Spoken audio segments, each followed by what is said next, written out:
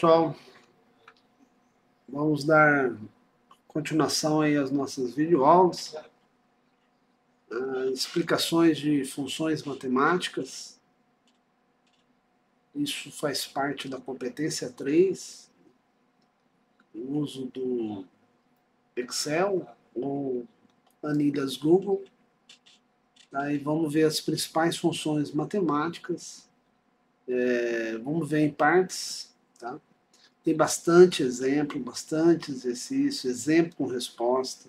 É fundamental que você leia, faça, tá? Não adianta só ficar em cima do que a gente conseguir fazer em sala de aula, porque há necessidade de você praticar principalmente aqueles que não têm tanta experiência, né, tanto, tanta prática aí, é, nessa ferramenta. Né. Os exemplos que eu vou estar fazendo, ou as funções que eu vou estar comentando, é dentro do Google Planilhas. Né, vou mostrar dentro do Google Planilhas. Obviamente o Excel é a mesma coisa, tá bom? Ah, pode haver pequenas diferenças entre eles, mas 99% ali funciona do mesmo jeito. A primeira função matemática é a função soma. Né? Sem a função soma, é, quer dizer, a função soma ela é usada quando eu desejo somar vários elementos. Eu posso estar utilizando né, a, o, o sinal de operação mais. Também é possível, vai dar a mesma resposta. Só que se você tiver uma quantidade grande de células para somar, é, obviamente é muito mais fácil usar uma função, porque a, a função ela tem a, a, possibilidade de eu estar o, utilizando a forma reduzida, né? não necessariamente precisando colocar todas as células, como eu estou mostrando aqui. Né? Basta você indicar a primeira, que a primeira célula que você quer somar, dois pontos, que significa até, e a última célula. Automaticamente o Excel vai entender que que você quer somar da célula 1 até a célula 3, ou seja, célula 2 vai entrar no meio da história, tá? Então, é, é o uso da função, ela permite essa, né, essa característica do até, e isso fica muito bom quando você tem várias, várias células a serem somadas, né? Agora, usar o sinal de operação matemática mais também dá certo. Né? Então, às vezes, eu acho assim, é bom conhecer um né, ou. É bom conhecer. Tem hora que é bom usar a operação, o sinal mais, operador matemático, e tem hora que é indicado a função soma. Tem gente que já guarda soma e faz soma para tudo e não utiliza mais em lugar nenhum, tá bom? Aqui apenas um, um, detalhe muito importante. A gente fala muito é, do dois pontos, né? porque ele seria até, né? Então basta você colocar a, primeira célula até a última célula. Mas eu também posso estar tá utilizando o ponto e vírgula. Né? Só que o ponto e vírgula eu tenho que ficar colocando um por um. Né? ele não, não pega do, do primeiro ao último. E às vezes é, é isso mesmo que eu quero, né? Eu não quero exatamente do primeiro ao último. Eu quero que faça uma soma do lado esquerdo, depois lá no meio, depois lá em cima. Então eu uso o ponto e vírgula. Mas a grande maioria das vezes a gente sempre trabalha de maneira adjacente, né? Células adjacentes. É, então sempre a gente encontra o dois pontos. Aqui, né, um exemplo, existe o, o arquivo pronto, está né, lá na sala de aula, só você baixar, só que ele não está formatado. Tá? Você vai baixar, vai abrir né, ele, fazer uma formatação básica, não precisa ser exatamente igual a essa que está aqui, faça do jeito que você quiser. E esse exemplo é, é muito interessante porque aqui é, é tudo soma, né? não tem nada especial.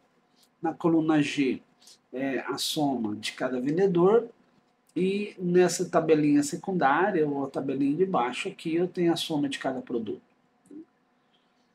Foi falado em sala de aula que é, é sempre interessante a gente, é, ao colocar a função, no caso soma ou, ou, qualquer outra função, é só clicar e arrastar, né, onde o próprio sistema vai copiar, fazer os ajustes necessários e fazer o cálculo. Aqui é legal, eu faço a soma aqui no primeiro, né, ver quanto é que deu, aí é isso mesmo? É, clica e arrasta para baixo. Agora, nesse caso aqui, eu não posso. Porque, é, apesar de ser tudo soma, mas são posições diferentes, colunas diferentes. Né? Então, se eu clicar e arrastar, ele vai achar que é sempre a coluna C. Não, é, esse é a coluna C, esse é a coluna D. Então, assim, na grande maioria das vezes, a gente clica e arrasta porque a linha de baixo a fórmula é a mesma. Mas nesse caso aqui não. Tá? Então, cuidado. Né? Eu sei que eu falei em sala de aula, sempre clicar e arrastar, mas tem casos que não. Tá? Então tá aí, né, o, já com a resposta, ok?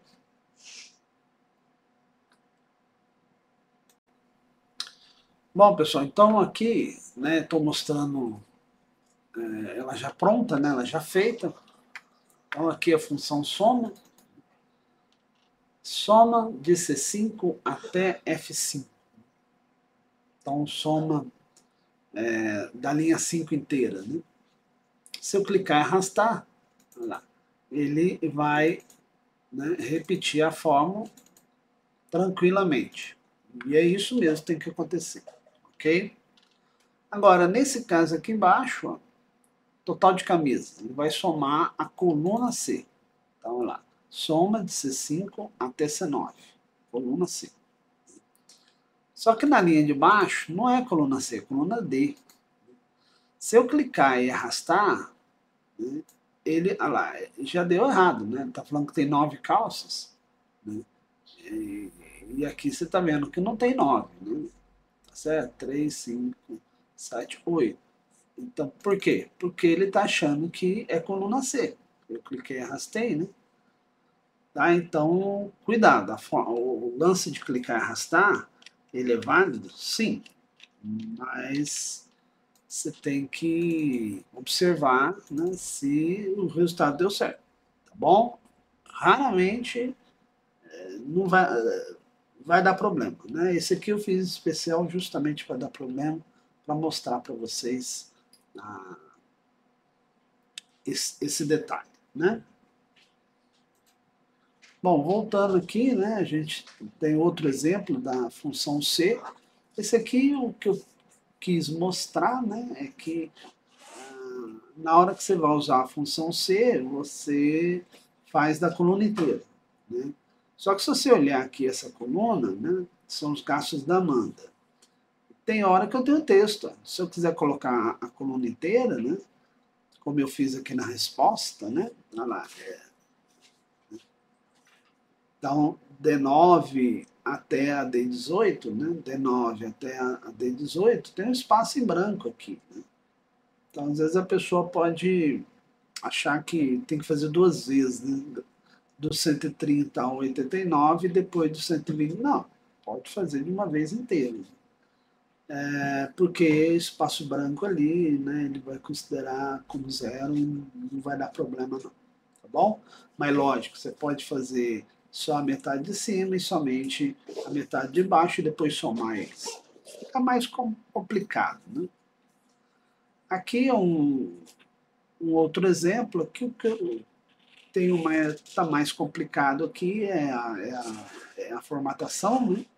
Repare aqui, está escrito na vertical, né, que eu, eu, eu, trabalhei bem a parte das cores também, né? Mas as fórmulas são bem simples. Né? Aqui o total é soma e o valor final aqui é uma subtração do valor disponível menos a soma. Então, lá, né? valor disponível menos a soma. É, então, apesar de do exercício não estar tá escrito as formas, mas você tem que interpretar e chegar no resultado. Ok? Esse aqui é um último exercício dessa parte de soma, onde eu vou achar o preço total. Aqui é apenas uma formatação um pouco diferente também. Né? Então, às vezes a gente vê um pouco diferente. Esse aqui é, é multiplicação, né? Estou fazendo uma multiplicação, então não tem a função soma, apenas multiplicação. Então você tem que ter noção que tem que saber soma e as operações matemáticas básicas, isso aí é fundamental. Né? E tem um último exemplo, né, que eu não dei tabela pronta nenhuma, ficaria para você treinar, tá bom?